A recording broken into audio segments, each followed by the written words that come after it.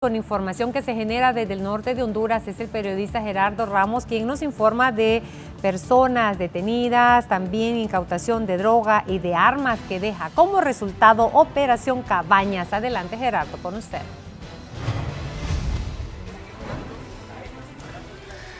Así es, compañeros, en los estudios principales de Noticias, muy buenas tardes, es un gusto saludarlos a esta hora del mediodía y es que bueno, se ha informado que la Policía Nacional en conjunto con otras fuerzas de seguridad han dado captura a cuatro individuos, cuatro individuos que fueron eh, capturados aquí en la capital industrial de nuestro país. Agregado a ello, pues la Dirección Policial de Investigaciones ha brindado detalles de que se ha dado también eh, los decomisos de drogas, armas eh, de fuego.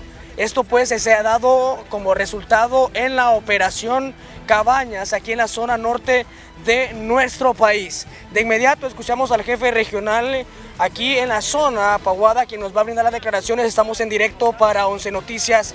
Si nos brinda los detalles en este momento sobre esta captura que se ha dado aquí en la zona norte del país. Muy buenas tardes. Así es, efectivamente, pues en horas de la mañana operaciones dirigidas de la DPI, pues hizo una operación donde se prácticamente se mantela un lugar donde tenga una serie de actividades ilícitas, más que todo lo que es lo que es el abastecimiento de droga, marihuana, cocaína. Esta gente pues utiliza negocios fachada.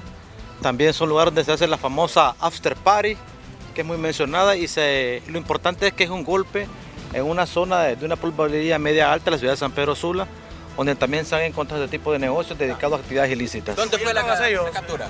Básicamente en una colonia al norte de la ciudad de San Pedro Sula. Reserva no porque hay otras operaciones en curso también en este momento, porque hay otros lugares con iguales condiciones que trabajan en la clandestinidad. ¿Serían estudiantes ellos? En teoría son estudiantes, algunos de algunas universidades privadas inclusive, pues personas que de otra manera pues hacen este tipo de actividad para abastecer de fondos de completamente ilícitos. Metodología de entrega, entrega VIP se menciona también. Recuerden que estos operan en la clandestinidad, son de repente cajas de estación fachada, donde posteriormente alguna actividad nocturna de la ciudad, pues promocionar los famosos after party, cuando inclusive hay una prohibición de tener negocios abiertos a ciertas horas, como dice la ley de policía y comunidad social. Esta es una manera pues, de que operar en la clandestinidad con ciertos clientes selectivos. También utilizaban el servicio de envío, lo que es el entrega a domicilio, en una serie también de eh, instrumentos o empresas fachadas o las utilizaban como canguro para hacer sus entregas también personalmente. Se habla de que ayer era una, un laboratorio donde se fabricaban drogas también. Ustedes pueden ver aquí, las evidencias son claras, hay una serie de mini laboratorios donde procesaban algún tipo de, de droga.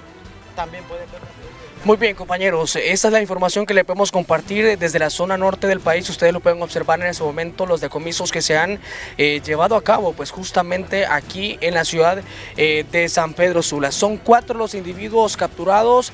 Eh, esta operación que se ha llevado a cabo aquí en San Pedro Sula, pues por parte de la Dirección Policial de Investigaciones. Con este reporte, desde San Pedro Sula con ustedes nuevamente los estudios principales. Muy buenas tardes.